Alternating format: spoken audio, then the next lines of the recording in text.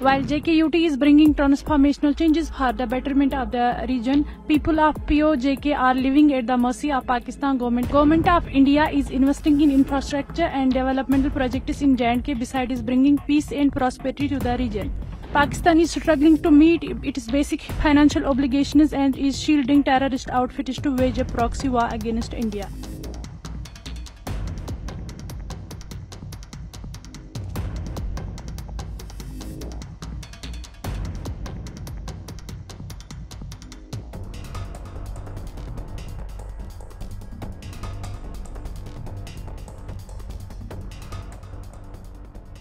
Being a native to Jammu and Kashmir through UNHR Council, I would like to bring forth the stack developmental differences of Union Territory of Jammu and Kashmir, that is JKUT and Pak occupied Jammu Kashmir. While JKUT is bringing transformational changes for the betterment of the region, people of POJK are living at the mercy of Pakistan government having utter disregard for the people over there and their basic human rights and amenities. While the government of India is investing in infrastructure and developmental projects in J&K besides bringing peace and prosperity to the region. Pakistan is struggling to meet its basic financial obligations and is shielding terrorist outfits to wage a proxy war against India. POJK lacks even basic infrastructure and amenities with negligible investment and blatant misappropriation of its resources by Pakistan in terms of education and literacy rate JKUT is far ahead of POJK. Government of India spends nine times more on education sector in JK UT compared to its counterpart. POJK is facing a major crisis in its education sector, lacking basic infrastructure including building and roofs, clean water, toilets, etc causing acute hardships to students, resulting in severe dropout ratio. Change is also perceptible in health sector. POJK of health uh, UT are availing health benefits in even the remote areas with national health schemes, which is distant dream for the people of POJK.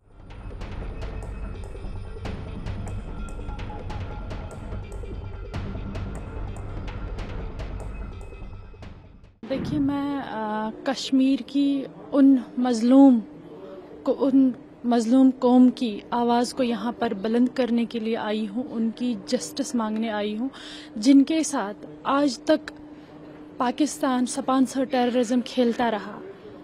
माँ को बेटा एक माँ को बेटा छीना है एक बहन को भाई छीना है गोलियों का शिकार बना के और एक बच्चे को माँ भी छीना है, किसी को बाप भी छीना है।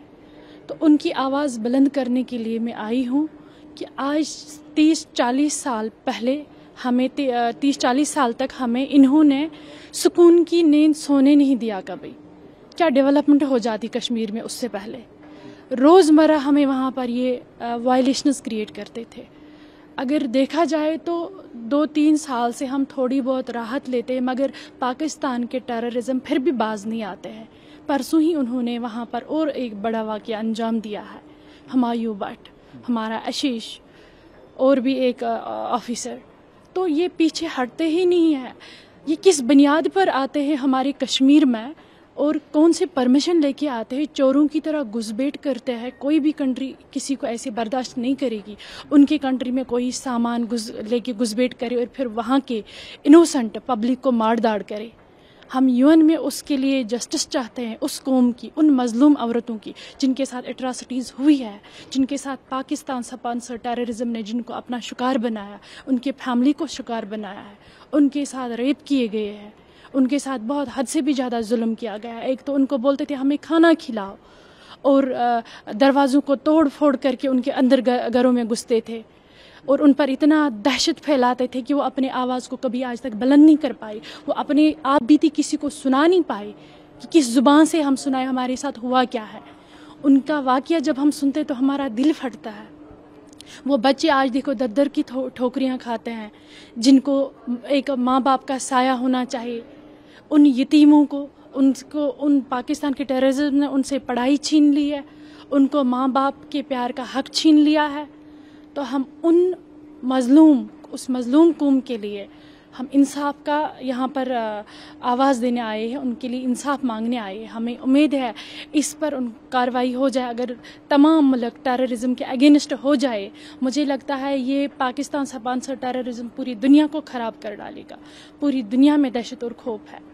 लेकिन पाकिस्तान तो यूएन में बोलता है कि हम कश्मीरियों के हक की बात कर रहे हैं। कौन से हक की बात? वो तो कश्मीर के जानों के सौदागर है, कश्मीर के मौतों की सौदागर है। उन्होंने कश्मीर के इनोसेंट पब्लिक को मौत के नींद सुला दिया है, कब्रिस्तान पहुँचा दिया है। तो कौन सा हमारी हक की बात वो करते हैं? मैं तो ग्रास रूट लेवल से मैं कश्मीर से हूँ। मैं उनकी तरह नहीं, जो यहाँ पर पाकिस्तान सपानसड़ बात करते हैं।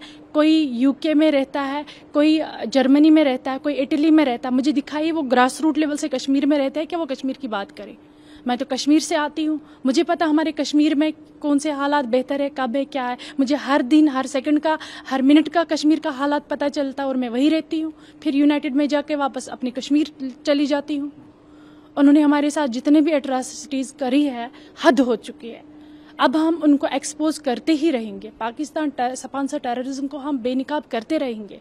परसों ही पाँच को पकड़ा गया है जो ये कश्मीर यूथ को भी अभी मिसगाइड करते हैं काउंसलिंग करते कौन सा जहाद? वो कौन सा जहाद है जो इंसानियत को ख़त्म कर डालता? है पाकिस्तान के अपने हालात देखने नहीं चाहिए। अगर वो मुस्लिम कंट्री है वहाँ शियाओं को वो क्यों नहीं रहने देते हैं? वहाँ पर वो अहमदीज़ को क्यों नहीं रहते दे, रहने देते? हैं तो बाकी की बात ही नहीं। हमारी इंडिया को देखो मल्टी रिलीजियस कंट्री है। हम सारे मिलजुल के रहते भाईचारा देखो हमारा कितना है। तो वो अपने आप को देखे ना, जब वो अपने लोगों को वहाँ पर रहने नहीं देते, क्या वो कश्मीरी कौम के खून के प्यासे नहीं है? उनको कश्मीर की लैंड चाहिए कश्मीर का कौम नहीं चाहिए लेकिन उनको भूल है, जो पीओ जे के है, वो कश्मीर का हिस्सा है। वो जम्मू एंड कश्मीर का हिस्सा है। हम उनसे वो लेके ही रहेंगे। इंडियन कश्मीर लेके ही रहेगा उनसे अपना हिस्सा। वो हमारा हिस्सा उनके पास है। उनके डॉक्यूमेंट्री में नहीं है। उनके ज़मीन के नक्शे में, पाकिस्तान ज़मीन के नक्शे में नहीं है। वो देखिए पेज के पर कितने एट्रोसिटीज़ वहाँ पर कर रहे हैं। कौन सी बिजली उनको देते हैं? आटा देते हैं। वो तो परेशान है। कौन सी फैसिलिटीज़ की फैसिलिटेट किया उन्होंने पी को? हमें बताइए। खाम खा बना दिया है, उधर उन्होंने बता रहे हैं कि उनको अपना सारा कुछ अपने पास है, हुकूमत। कौन सी हुकूमत? उधर तो उन पर आर्मी राज करती है, पाकिस्तान आर्मी राज करती है उन पर। तो उन पर जुल्म नहीं हो रही, उन बेचारों को, उसके बावजूद देखिए आप, हमारी जे की डेवलपमेंट हर दिन हर प्रोजेक्ट चल रहा और अच्छे अच्छे रोड्स है कॉलेजेस है हॉस्पिटलिटी बढ़ रही है और हमारे प्रधानमंत्री साहब ने वहाँ पर आ, हर घर में हर पर्सन को पाँच पाँच लाख का वो गोल्डन कार्ड बनवाया है। फ्री में उसको इलाज मिल रहा हॉस्पिटलों में और हमारा सब हम बेहतरी ज़िंदगी जी रहे हैं और हम चाहते हैं कि हम पी ओ जे के मसले में भी दखल अंदाजी अब करें क्योंकि वहाँ पर हमारे कौम के साथ बहुत जुल्म हो रहा है। बहुत हम नहीं सह सकते उनके जुल्म।